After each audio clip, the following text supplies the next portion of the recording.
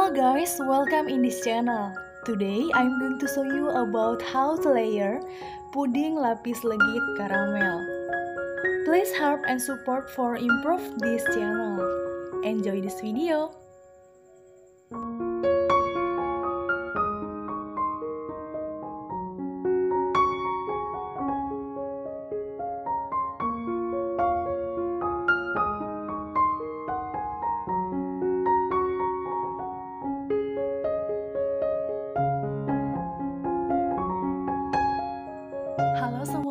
Apa kabar? Semoga semuanya dalam keadaan baik ya.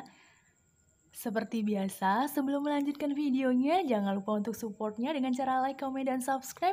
Dan aktifkan juga notifikasinya supaya tidak ketinggalan video terbaru dari saya. Teman-teman, puding lapis legit karamel ini teksturnya lembut banget dan cantik bukan? Bagaimana? Tertarik untuk mencobanya? Simak videonya yuk. Bahan-bahan yang diperlukan sebagai berikut. Agar-agar 7 gram, 2 buah kuning telur,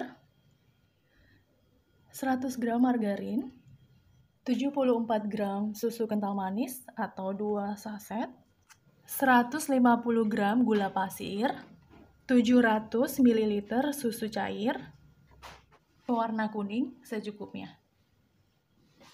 Untuk cetakan atau loyang yang saya pergunakan di sini ukuran 18 x 18 cm yang sudah saya basahi dengan air bersih. Tahap pertama, kita tuangkan susu cairnya.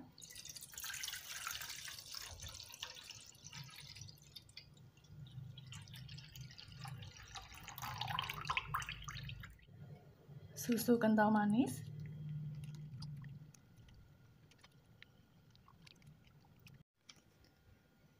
Agar-agar bubuk.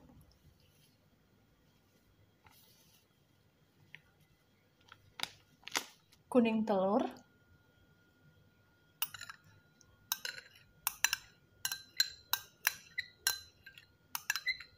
Sedikit pewarna kuning makanan.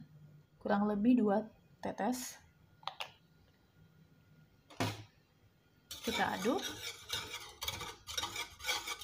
teman-teman untuk pewarnanya tingkat warna kuningnya itu sesuai selera ya.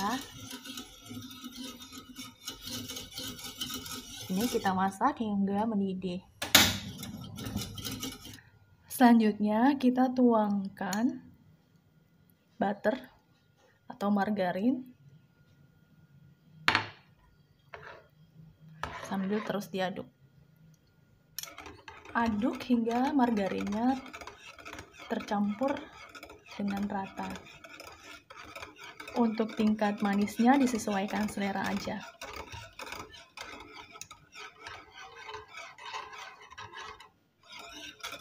Selanjutnya, ini kita sisihkan dulu, kita siapkan untuk puding karamel.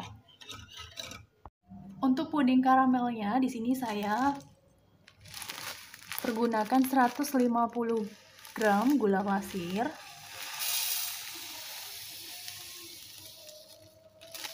Selanjutnya kita masak.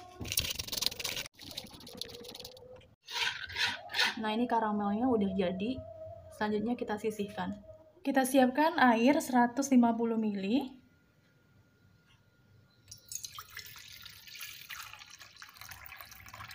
kemudian kita tambahkan bubuk agar-agar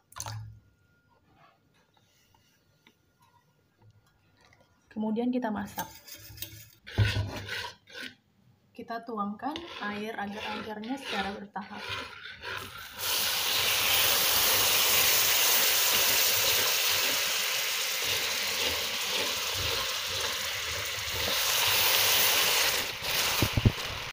Ini kita tuangkan adonan puding lapis yang kuning kurang lebih 4 sampai 5 sendok sayur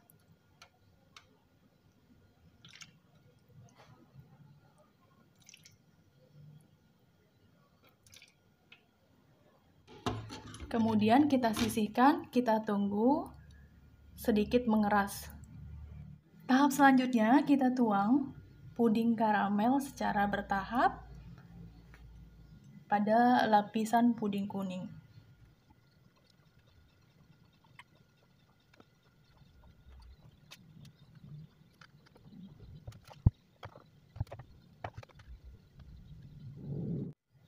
Ini semua permukaan sudah kita lapisi dengan puding karamel dan sudah rapi seperti ini. Kemudian kita biarkan, biarkan dia mengeras. Selanjutnya kita timpa lagi dengan lapisan puding kuning.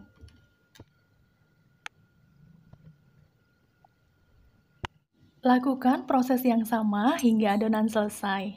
Wow, lihat segampang itu buatnya bukan? Selamat mencoba, semoga bermanfaat.